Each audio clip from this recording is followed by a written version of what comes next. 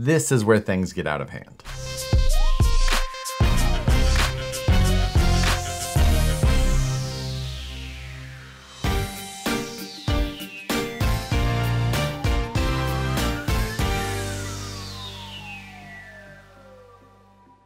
What's going on everyone? We're back on the bench with the Bomber 2020 refresh version. I've got the Savvy version here, and in the last couple of episodes, you've seen me do some basic upgrades as far as links and suspension, and a new high altitude performance rear back half, which is a combination of carbon fiber and aluminum parts that reconfigure the rear end of the Bomber to give it more suspension travel, integrate a sway bar, and a few other suspension geometry adjustments. But today, we're looking at a much more over the top change. And that is that we're going to install the high altitude performance, low CG skid plate and transmission setup.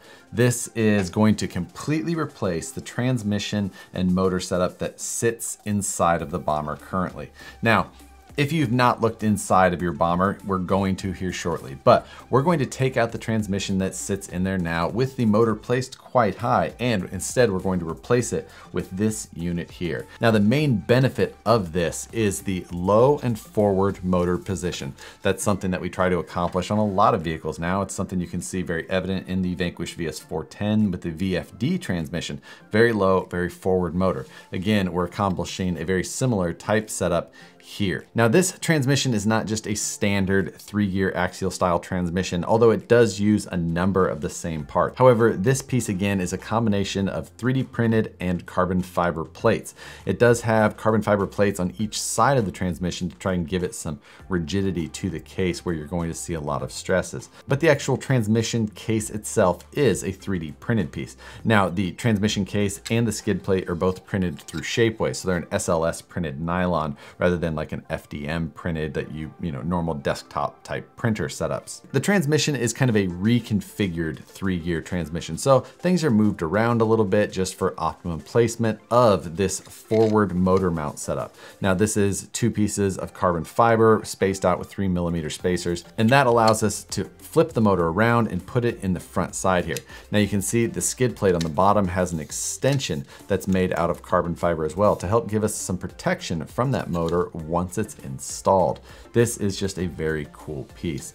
It does completely replace the skid plate that sits in the bomber with this 3D printed version also, and it's got some adjusted link mounting locations. So we're going to see that we're gonna have to play around with link lengths specifically in the uppers to make sure that everything fits well. So even though in the very first upgrade video I changed out some of the links, we're gonna be changing those again. But I think that the first upgrades that we did on this were something that appealed to more of the masses. This is for somebody who's really looking to go over the top. So replacing some links with some longer versions, probably not outside of your wheelhouse if you're interested in going a route like this. Now, another big item that we haven't talked about yet is the big brushless motor that I've got hanging off the front of this transmission. That is a Tekin ROC412 HD. So it's the 550 can length. And this is a 3100 kV motor. It's going to give this truck a lot of power. It's a five millimeter shaft, so we did need to make sure that we picked up a pinion with the proper five millimeter through bore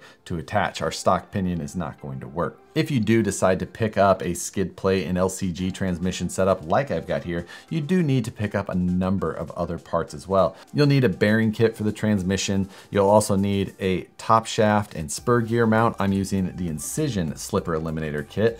Then you'll of course need a three gear transmission set. Again, I'm using the Incision set. You'll need an idler gear pin, which is something that's kind of easy to overlook.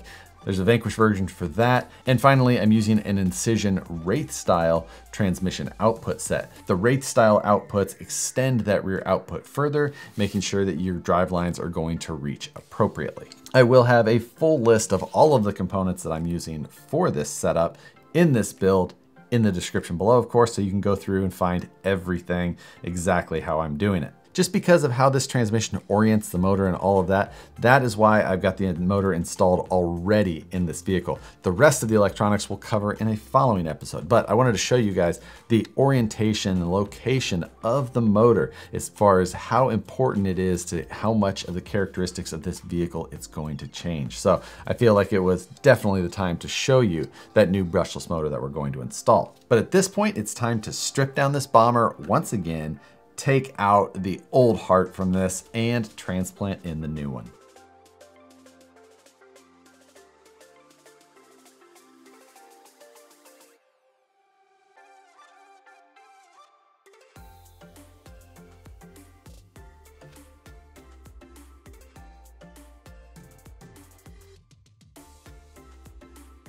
Now, here is why we're doing this mod. Here is the old transmission. You can see how high the motor is up there. Huge difference between the bottom of the skid plate and the center of mass of the motor. Definitely something that's going to raise you up quite a bit, especially when you start putting in a heavier brushless motor like we have here. Now, instead, with the new less center of gravity version, once you get those skid plates on the same plane, you just have this massive difference in center of gravity going to be much more efficient. And we've got a much more compact transmission in general. So we just have a whole package here that is much more simplified than the original. Now the original is a very strong transmission though. There's just not a lot that you will need to do to this transmission. So if you want to stay with a stock transmission, the Bomber one basically out of the box is pretty solid. You don't really have to worry about anything in it. This is purely for the performance end of why we're going after, not necessarily a huge difference in strength. So just something to keep in mind. So now we've got some more work to do, taking and mocking this transmission up in the chassis and then trying to figure out exactly what modifications we need to make for links. And it's installed. That is not that difficult of an installation at all. Everything goes in smoothly. And now you can see already, this motor sits so far forward and all the way at the bottom. There's nothing up high anymore. The previous transmission before, while it's a stout system, it's just not optimal for performance overall, just with the much higher motor location and the fact that it's more rearward to this assembly rather than what we've got here. This assembly takes that heavy motor option, puts it all the way to the front.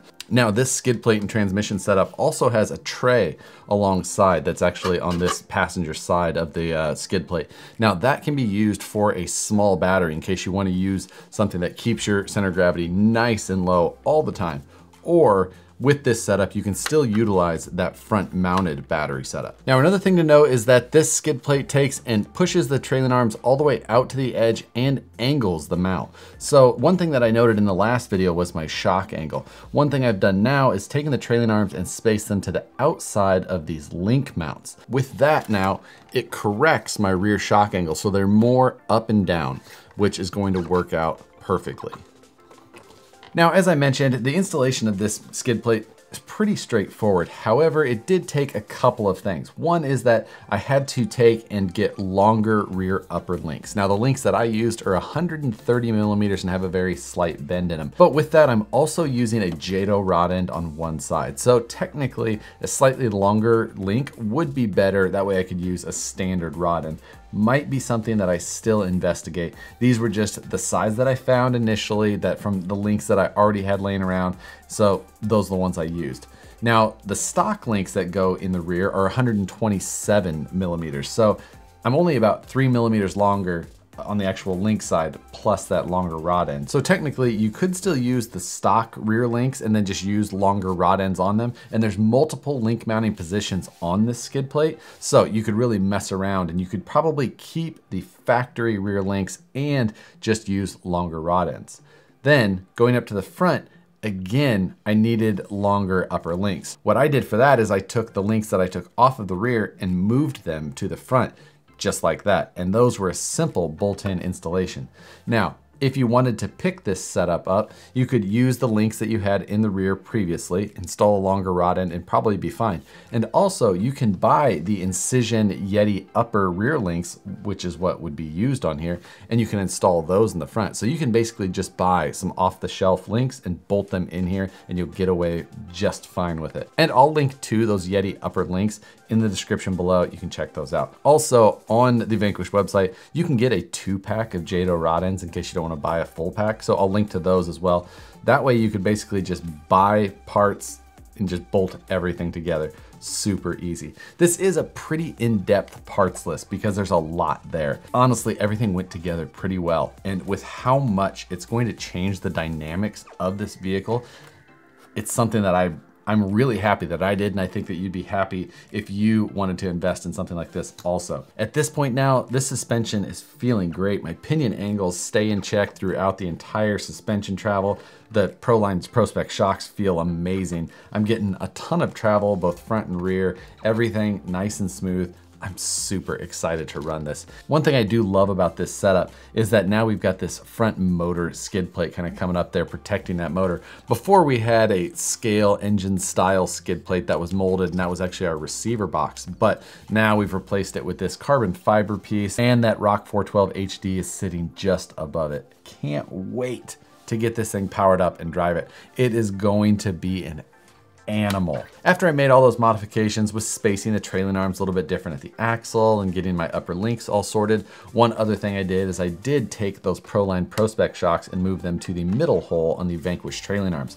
That got me laid down a little bit more. My ride height just super low now still. In the end, I'll take and grab a bone stock new in box bomber and we'll set these two next to each other and you can just see how radical of a difference we have here. I know taking a brand new car and just completely gutting it and doing like what we're doing is not for everybody and I'm not expecting that at all. I'm just taking this opportunity to take a bomber and go all out on it, which I haven't done really before because like on the budget build, I was trying to stay within that schedule. This time, throwing that all out and we're just doing everything we can at once. But I think that major change for this week is going to do it for this one. Thanks everyone for watching. If you enjoy the content, hit the like button, subscribe if you're not already, hit the notification bell so you see the videos as soon as they get uploaded. Again, as always, thanks for watching and we'll see you on the next one.